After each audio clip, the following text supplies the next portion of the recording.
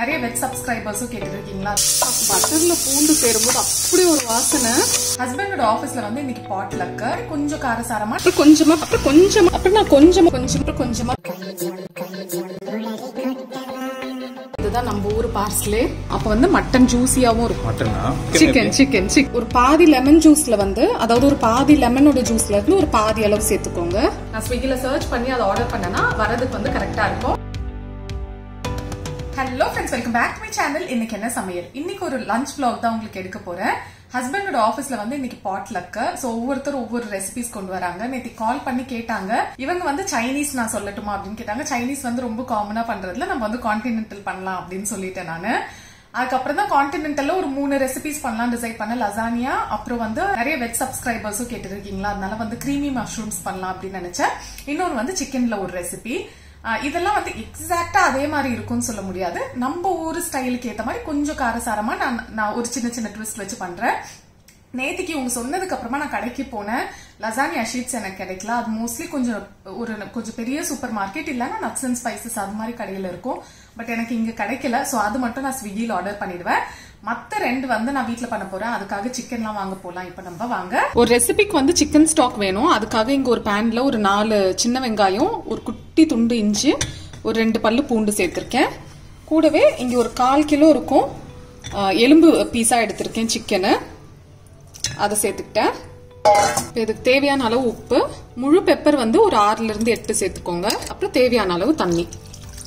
இதெல்லாம் சேர்த்து நம்ம ஒரு அரை மணி நேரம் இதை வேக விடலாம். ப்ராப்பர் சிக்கன் ஸ்டாக்ல இன்னும் நிறைய ஆட் பண்ணுவாங்க. கேரட் லீக் அது மாதிரிலாம். நமக்கு இது போதும் இன்னைக்கு. இதை ஆன் பண்ணி நான் தேர்ட்டி மினிட்ஸ் அப்படியே விட்டுற போறேன். ஒரு பேன் வச்சிருக்கேன். அதுல வந்து கிட்டத்தட்ட ஒன்றரை டேபிள் ஸ்பூன் அளவு பட்டர் சேர்த்துக்கிறேன். அப்புறம் கொஞ்சமா ஒரு டீஸ்பூன் அளவு ஆலிவ் ஆயில் சேர்த்துக்கலாம். இப்போ இதுல வந்து மூணு பூண்டு நல்லா கிரேட் பண்ணி வச்சிருக்கேன். அதை சேர்த்துக்கிறேன்.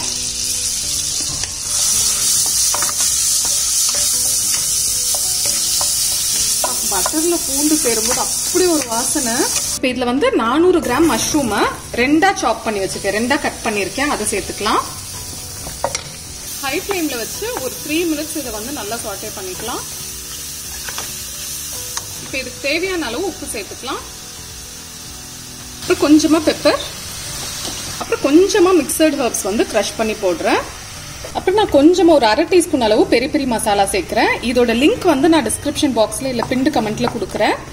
ஒருவேளை இது கிடைக்கல வாங்க முடியலனாலும் பரவாயில்ல. இதுக்கு பதிலாக நீங்க சில்லி பவுடர் சேர்த்துக்கலாம். நான் சும்மா நம்மளோட ஊர் காரத்துக்காக நான் சேர்க்கிறேன். இப்போ மஷ்ரூம் ஓரளவுக்கு வெந்துருச்சு. நான் அடுப்பை ஸ்லோ பண்ணிட்டு இதுல வந்து ஃப்ரெஷ் க்ரீம் சேர்க்க போறேன். ஒரு நூறுல இருந்து நூத்தி ஐம்பது எம்எல் ஃப்ரெஷ் க்ரீம் சேர்த்துக்கோங்க. க்ரீம் சீஸ் இருந்தால் அது கூட சேர்த்துக்கலாம்.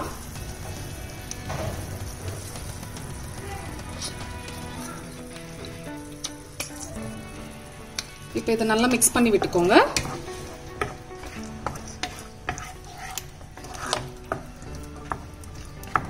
ரொம்ப சிம்பிளான ரெசிபி அவ்வளோ டேஸ்டாக இருக்கும்.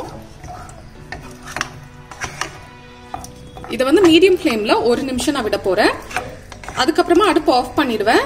ஏன்னா ஹஸ்பண்ட் ஆஃபீஸ்ல போயிட்டு இதை ரீஹீட் பண்ணுவாங்க. ஏன்னா இது சூடா சாப்பிட்டாதான் நல்லா இருக்கும் அதனால நான் அதுக்கேற்ற மாதிரி பேக் பண்ணி கொடுக்க போறேன் அவங்களுக்கு. ஸோ திரும்பவும் ரீஹீட் பண்ணும்போது உங்களுக்கு தேவையான திக்னஸ் கிடைச்சிரும். இன்கேஸ் நீங்க வீட்லயே அப்பவே சாப்பிட போறீங்கன்னா அதுக்கு என்ன பண்ணணும். ஒருவேளை நீங்க பேக் பண்ணல வீட்ல தான் சாப்பிட போறீங்கன்னா இந்த சாஸ் இருக்குல்ல இது கொஞ்சம் திக்காய் இந்த மஷ்ரூம்ல கோட் ஆகணும். அது வரைக்கும் விட்டுக்கோங்க. ஒரு டூ மினிட்ஸ் ஆகலாம் மீடியம் ஃப்ளேம்ல நான் இதை டிஃபன் பாக்ஸ்ல ட்ரான்ஸ்ஃபர் பண்ணிக்கிறேன்.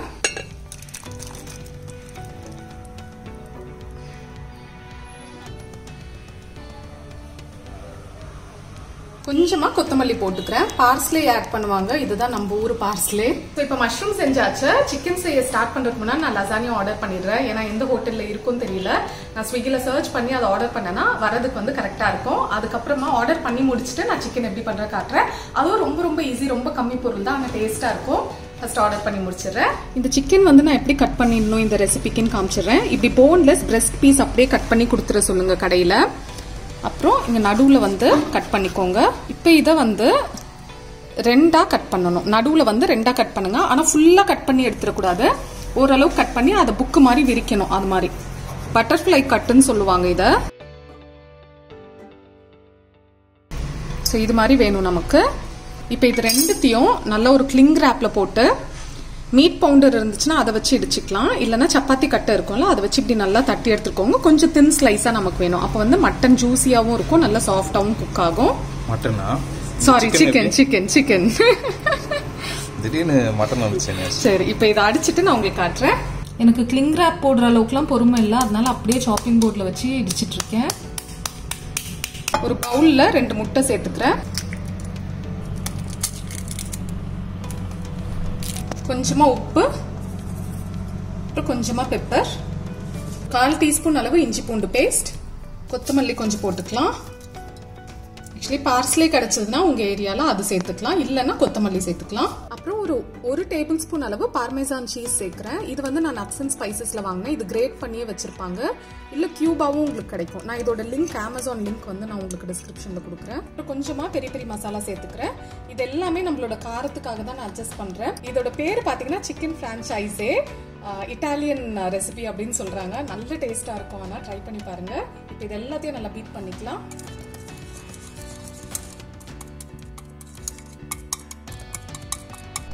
இங்கே வந்து ஒரு பிளேட்டில் மைதா கொட்டி வச்சிருக்கேன். உங்களுக்கு மைதா வேண்டாம்னா கார்ன்ஃபிளவர் கொட்டிக்கோங்க. அதே பேன் நான் சூடு பண்ணிட்டு இருக்கேன் இப்போ இதில் வந்து ஒரு டேபிள் ஸ்பூன் அளவு பட்டர் சேர்த்துக்கலாம். இப்போ அங்கே பட்டர் மெல்ட் ஆகிட்டு இருக்கிறதுக்குள்ளே நான் சிக்கன் எடுத்து ஃபஸ்ட்டு இந்த மாவில் வந்து இப்படி ஒத்தி எடுத்துக்கிறேன். அப்புறம் எக்ஸஸாக இருக்கிற மாவை வந்து இப்படி உதறி விட்டுக்கோங்க. அதை வந்து எக்கில் இப்படி நல்லா டிப் பண்ணி கோட் பண்ணி நம்ம வந்து அடுப்பில் போட்டுடலாம்.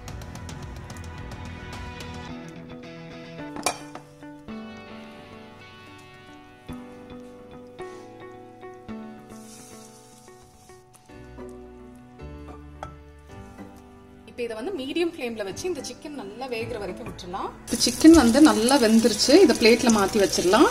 டுவெண்ட்டி மினிட்ஸ் கிட்ட நான் வேக வச்சேன். இப்போ செஞ்சு வச்ச சிக்கன் ஸ்டாக்கை வந்து வடிகட்டி சேர்த்துக்கலாம். கிட்டத்தட்ட ஒரு ஒன்றரை கப் வரணும் நமக்கு.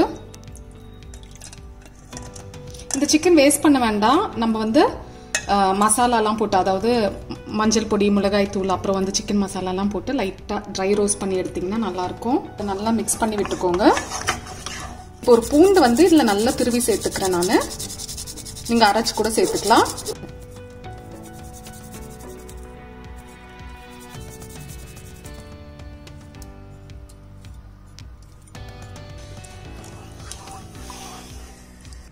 ஒரு பாதி லெமன் ஜூஸ்ல வந்து அதாவது ஒரு பாதி லெமனோட ஜூஸ்ல இருந்து ஒரு பாதி அளவு சேர்த்துக்கோங்க.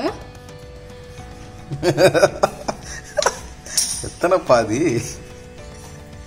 இப்போ இதை வந்து நல்லா ஹை ஃப்ளேம்ல இது ரெடியூஸ் ஆகிற வரைக்கும் வச்சுக்கலாம். கொஞ்சம் நல்லா திக் ஆகணும்.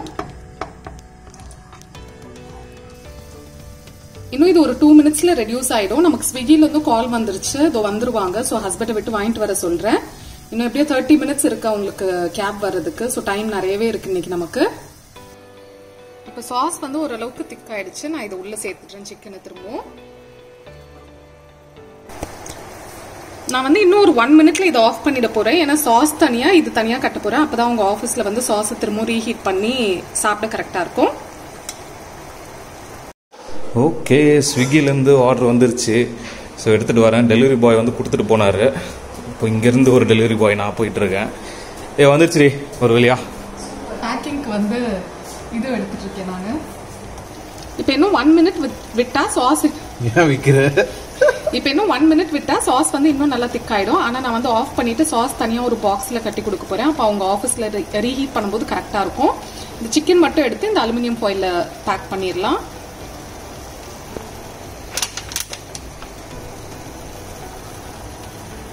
இது எப்படி சர்வ் பண்ணோம்னா இது ஒரு பீஸ் வச்சுட்டு அந்த சாஸ் மேல ஊத்தி ரெண்டுமே சேர்த்து சாப்பிடணும். செம்ம சூப்பரா இருக்கும்.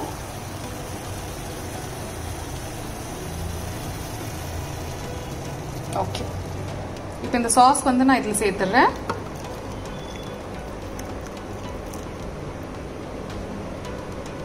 இது இன்னும் கொஞ்சம் இருக்க இருக்க திக்காகும் ஸோ கரெக்டாக இருக்கும் கன்சிஸ்டன்சி இப்போ பார்க்கறதுக்கு கொஞ்சம் தண்ணி மாதிரி இருக்கு. ஆனால் இருக்க இருக்க அது கொஞ்சம் கெட்டியாகும். ஏன்னா அந்த சிக்கனில் சேர்த்துருக்க மைதா மாவு வந்து அதை கொஞ்சம் திக்காக்கும் இப்போ வந்து அவங்களை அனுப்பி விட்டுடலாம். துரத்து விட்டுருந்தோம் வாங்க எல்லாரும் ஒன்றா சேர்ந்து துரத்துவோம்.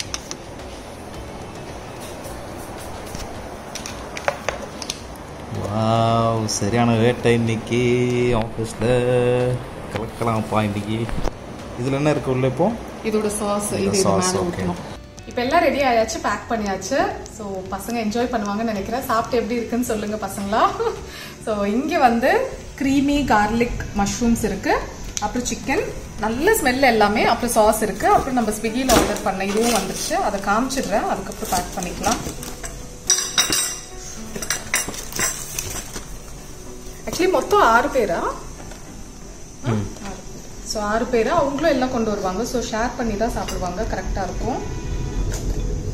ஓ அதுக்குள்ளேயும் ஒரு பாக்ஸு ரொம்ப அழகாக பேக் பண்ணியிருக்காங்க இங்கே பாருங்கள் செம்ம ஸ்மெல்லு நான் இது ஆக்சுவலி வீட்டில் பண்ணுவேன். நான் ஒரு நாளைக்கு பண்ணி ரெசிபி போடுறேன் ரொம்ப ஈஸி தான் பண்ணுறதுக்கு ஸோ நல்லா இருக்கும் ஆக்சுவலி ஆனால் உடனே செஞ்சு உடனே நம்ம சாப்பிட்டா தான் நல்லா இருக்கும். ஸோ பேக் பண்ணி கொடுக்கறதுக்கு இன்னைக்கு எப்படின்னு தெரியல. ஆனால் இன்னைக்கு வந்து கான்டினென்டல் கியூசின்ங்கிறதுனால இப்படி பேக் பண்ணி தான் கொடுக்கணும். ஆனால் ரீஹீட் பண்ணுறது எல்லாமே சொல்லி கொடுத்துருக்கேன். ஸோ அதுக்கேற்ற மாதிரி பண்ணிடுவாங்க ஸோ சூப்பராக வேலை முடிஞ்சிருச்சு. நல்ல வேலை ஷீட் கிடைக்கலன்னு கொஞ்சம் வருத்தப்பட்டேன். ஸ்விக்கியில் ஆர்டர் பண்ணி கரெக்டாக நான் யோசிச்சேன் இருக்குமா? இங்கே இருக்கிற ரெஸ்டாரண்ட்ஸில் இருக்குமான்னு எனக்கு அவைலபிளாக இருந்துச்சு. உங்களுக்கு இந்த மூணு ரெசிபில எது பிடிச்சிருக்கு அப்படின்னு சொல்லுங்க. நீங்க ஏதாவது ட்ரை பண்ணீங்கனாலும் எனக்கு சொல்லுங்க. உங்களுக்கு இந்த வீடியோ பிடிச்சிருந்தா லைக் பண்ணுங்க. உங்களுக்கு இன்னொரு வீடியோல இன்னொரு இன்ட்ரெஸ்டிங்கான ரெசிபி இல்ல நான் இன்னொரு இன்ட்ரெஸ்டிங்கான கான்செப்டோட பாக்குறது வரைக்கும். பாய்